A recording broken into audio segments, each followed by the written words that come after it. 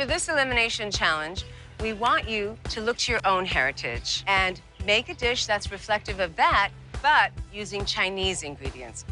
Tomorrow, you'll be serving a table of eight right there at Cafe 360 in the Macau Tower. Wow.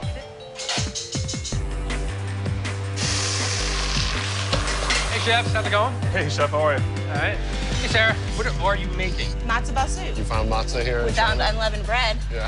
I'm gonna do a really nice umami broth. My mother found a bunch of like stuff. She was like, "Oh, can we get this? It looks really cool." I'm gonna put some Chinese garlic chives and I'm gonna poach them in a piri piri broth. Oh, okay. Cool. I know you've probably had a lot of matzo balls. My wife is Jewish, and I make matzo ball soup every Passover, so yeah. Never made matzo ball soup without matzah, so Yeah. Good luck with that. figure it out. Kelsey. Hi, chefs. How So, are y'all? what was that that you just like threw in there? This is like dehydrated vegetables. And so I'm doing a low country boil. Macau is an island, and being next to the ocean reminds me of home. I never thought that I was going to travel across the world and feel a piece of home with me. And so bridging Macau and my background came naturally. And so I just went through my list of what I would do and then replaced it with Chinese products. You're really harnessing Macau. Well, good luck. Thank y'all. That's awesome. I appreciate it. Michelle, Hi, chef. when you had celebrations around the holidays, what were you celebrating with? Mostly Mexican food, and then Sundays we do like a, a big dinner with the Italian side. And so I want to catch all those flavors and play on the Cioppino aspect, just because I saw so much beautiful seafood. Nice. I like this. And what Chinese ingredients or techniques are you bringing into your dish? Uh, well, I found lots of beautiful fish, bok choy, baby corn, and aromatics. Sounds good. Thank you. All right, good luck. Thank you, chefs. Yeah. Hey, Eric. Hey, chef, how's, How's it it going? going? Not too bad. So I'm doing egusi stew. It's a traditional spinach stew. Straight vegetarian. Uh, no. I'm gonna be poaching shrimp, and then also I'm gonna do like a, almost like a quenelle of um, shrimp itself. Like a fishball. Like Exactly, shrimp. yeah, a fishball, yep, yep. All right. So your sister just showed up, and she just happened to be here. It was a shock. I went upstairs and I was like, this woman looks exactly like my sister, and I kind of realized after a while that it was actually her. So it was pretty fun. All right, good luck. Take care. Yeah. All right, chefs, good luck. Good luck. Have fun. See you later. Oh, they're still alive. The most interesting thing about this dish is the broth. I'm incorporating ingredients I've never seen before. It's a lot of sniffing and chewing and looking for things that are going to make this taste delicious. Yeah, it's supposed to be spicy though. 30 minutes, Michelle. Thanks, Eric. The matzo balls. They just keep growing and growing and growing. Maybe this is my mom's soda water trick. Kelsey, should I cut these in half? No, that's fine. Hi. Hello. Hello. I want to welcome Michelle's mom. Michelle has been doing quite well. I think she won the last two quickfires. All right, thank you. Hi, Mom. Hi, babe. Hi, Michelle. Hello, everyone. I wanted to capture the flavors of Cioppino, and I wanted to be able to bring my Italian and Mexican heritage into the dish. Well, you may have noticed there's an empty seat here. We'd like you to join us. Thank you.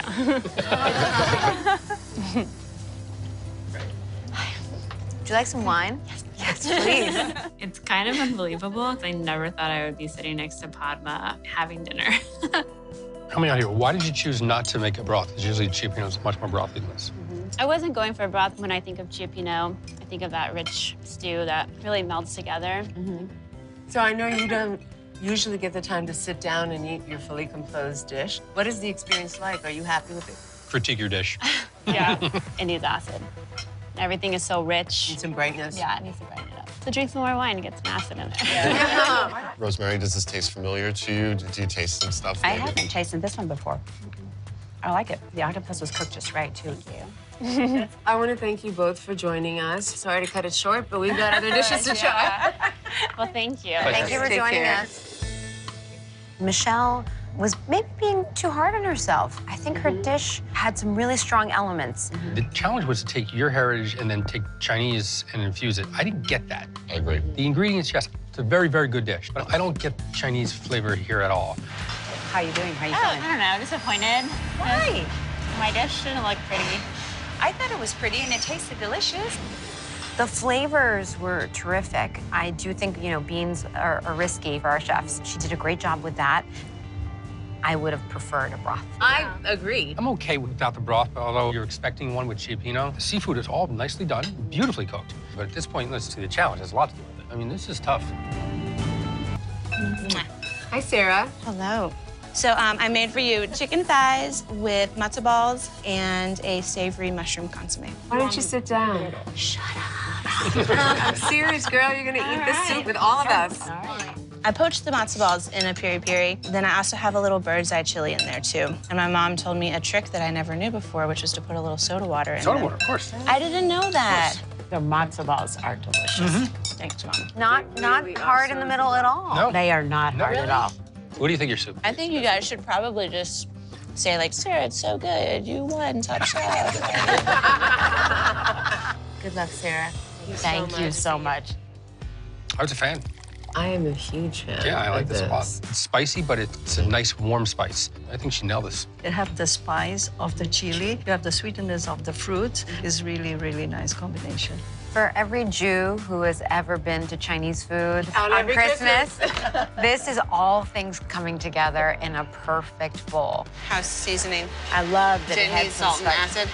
No, it was actually perfect. Yeah. I think that you should start making it for Passover every year. That same recipe. All right, thank you. I'm putting this plate in front of my sister, and I want to make her proud. Eric started making breakfast, eggs, burning them sometimes, but he's gotten better at it. I'm serving a dish that I've never made in this way before, so I'm just hoping that the judges understand the direction I was trying to go to with this dish. Today we're eating egusi stew with fufu dumpling that's panko fried and uh, variations of shrimp. There's a seat right next to me for you. Is that So really? Please join us. Thank you. Wow. I wasn't ready for that. All right. smells good. It looks amazing. Were you worried about cooking fufu a second time? No, not really. I wanted to, to be able to showcase it just a little bit different. To kind of use these um, macanese uh, ingredients was really fun. I think the dish came out really well. I'm happy with the pumpkin seeds and that texture. It's really good. Thank you. We are very proud. I know you have Africa on your back. I know that, but don't feel the weight. You already put us on the map. I appreciate it. Thank sis. you. Thank you. I love you. Thank you. I love you too. nice. Let's. Don't cry. Don't All cry. right, go have your love fest. That's all Yeah, right. yeah, yeah. Thank you, guys. Take care. Take care, guys. Take care. I love Eric's food. I really enjoyed that sweet and sour element on his quenelle. The balls, the shrimp balls were salty.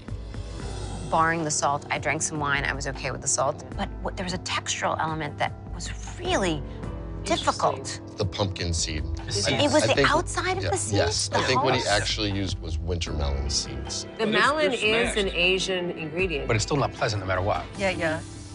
Ah, it's over. You relieved? I'm You did relieved. great. Thank you. I What you love think? the taste. It Did was, you? it- I loved it. It was Thank you. amazing. I'm just hoping that the judges Yeah. think the same. It's kind of dripping. I'm doing a tableside pour because I want the judges to immediately think of a low country boil when they see the plate. Oh, yeah. Oh, that looks so good. They'll get the flavors of the broth that's being poured.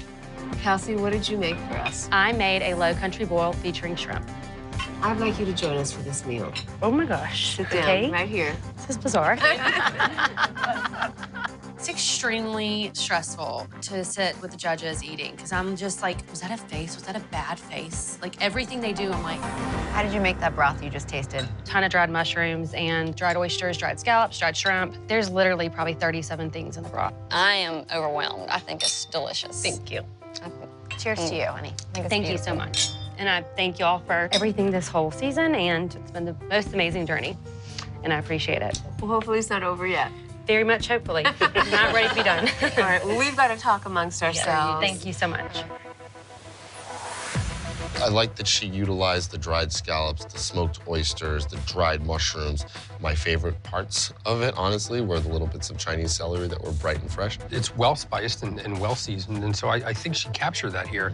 But the flavors are, are I think, Very uh, Asian. local. Yeah, I mean, this is this is delicious. I actually think it is a little too strong to have a whole bowl of it. Yeah, I agree with you. The green onion is very strong. It's too forward. Too it's not strong. in balance. Yeah, yeah. That broth, I could have literally sopped it up. I liked it that much. Really? I liked that it was strong. Yeah. Hopefully, I want something home for it. You just don't know. We're down to the nitty gritty.